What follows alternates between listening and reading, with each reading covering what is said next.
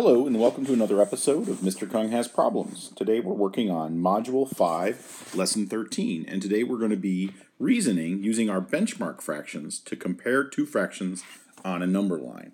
So there are a whole bunch of problems in the homework tonight in, when you include all the different little subparts of problems 1 through 5. So I'm going to kind of work through a few of them scattered throughout the homework in hopes that that helps you to, uh, to get your homework done tonight and helps you to understand uh, the problems that we're looking at. So let's take a look at some of the some parts of the first two problems. Let's take a look at problem number 1 and we'll do a couple of those parts together. I'll leave one of those parts for you, and then maybe we'll look at a little bit of number two since it refers to number one. So let's take a look at the directions for part number one.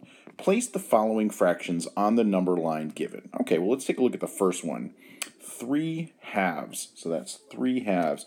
So 3 halves is an irregular fraction. So we could uh, we could go ahead and do the mixed number version. Um, the mixed number version, let's see, 3 halves. Two of those halves would make a whole and then we'd still have one more half, so that would be 1 and 1 half. So 1 and 1 half. Oh, okay, well, that are, we've already got, so I'm actually just going to do a little draw here, and then I'll say that this is 3 halves right there.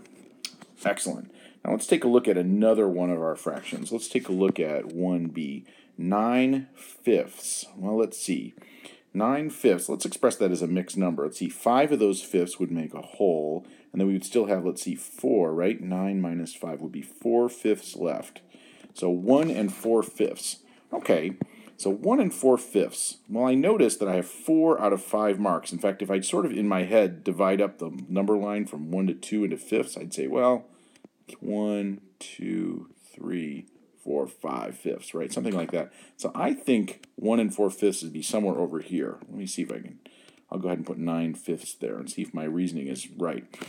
The other way I can look at 4 fifths is I can say, well, I don't know exactly where it is, but it's definitely more than one half, right? Four fifths is definitely more than one half. So I know that it's over here. It's closer to five fifths than it is um, to anything else. So I'm going to put it, I think over here is pretty good. So I'm going to leave you to go ahead and do part C on your own. And let's look at number two. Use the number line in problem one to compare the fractions by writing greater than, less than, or equal to on the lines. Let's look at what we've got. The first one, we're asked to compare 1 and 1 sixth with 1 and 4 twelfths. Okay, well, one thing I notice about 1 and 4 twelfths is that it looks like we could divide the numerator and denominator by 4 to make this fraction a little simpler. So let's see if we could do that. 1 and 4 twelfths. The 4 twelfths part, let's see, I could divide the top and the numerator and denominator of 4 twelfths by, let's see, uh, I could divide it by 2 but I think I can divide it by 4. Let's see if that works. Let's see, 4 divided by 4 is 1, and 12 divided by 4 is 3. So this is the same as 1 and 1 third. Awesome. Now let's see if this makes it easier for us to compare. So we're comparing 1 and 1 sixth with 1 and 1 third. Oh, well that makes it easier, right? Because we know 1 sixth is a smaller part of a whole than one third. So we know that one, one and one sixth is going to be somewhere over here, but one and one third, we go one, two, three thirds. So one third is going to be somewhere over here. So I might go ahead and label that. I'll say this is about one and one third, and over here is one and one sixth. So we know that one and one third is greater than one and one sixth. And we should be able to figure that out either by simplifying this fraction, or if we didn't want to simplify the fraction, we could go ahead and, and tick out twelfths, right, between 1 and 2, right? So there would be 6 of them, 3 of them. We could tick out all the twelfths all the way along here, and then pick 4 of them. And that's, we'd end up right here as well, right? About 1 and 1 third, or 1 and 4 twelfths, since those are equivalent fractions. Excellent. I'm going to leave 2b for you as well as number 3 and 4. Let's move on to one more problem, and I'll do a couple parts of that. Let's take a look at uh, problem number five. Compare the fractions given below by writing greater than or less than on the lines. Give a brief explanation for each answer referring to benchmarks. Okay, let's see. 2 fifths. We're going to compare 2 fifths and 6 eighths. Hmm, okay, well, I might be able to simplify 6 eighths, but let's say that I didn't remember that. Let's just look at the benchmarks. Let's see, our benchmark numbers are, let's see, 0. Well, they're both bigger than 0, obviously. 1, let's see, but 6 eighths is smaller than 1, right? If we had an imaginary t- uh, number line here, if we had a number line, oops, sorry, my, uh, wow, my, uh, my arrowhead was just dreadful there. If we had a number line here of 0 and 1, both of these fractions are going to be bigger than the 0 and less than the 1. So that doesn't really help us.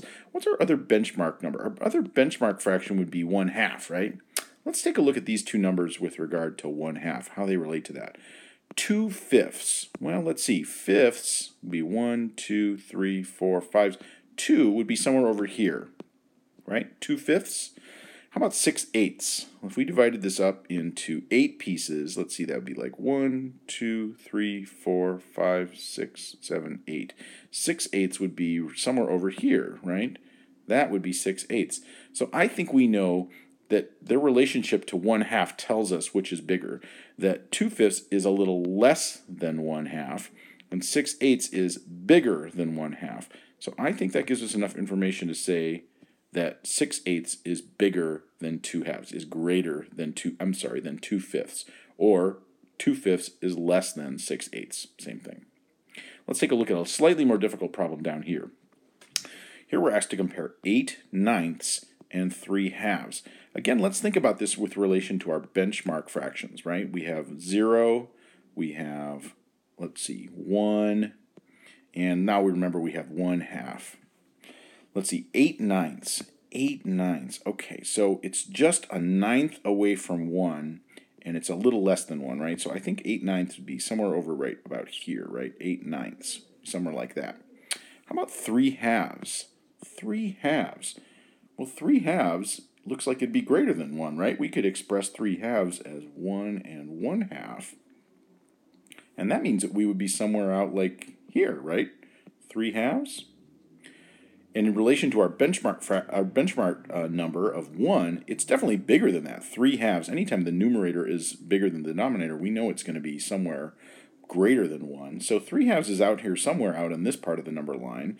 And 8 ninths we know is a little bit smaller than 1, so it's going to be here on the number line. So again, I think we have enough information. I think we can make our call that 3 halves is greater than 8 ninths, or 8 ninths is less than 3 halves.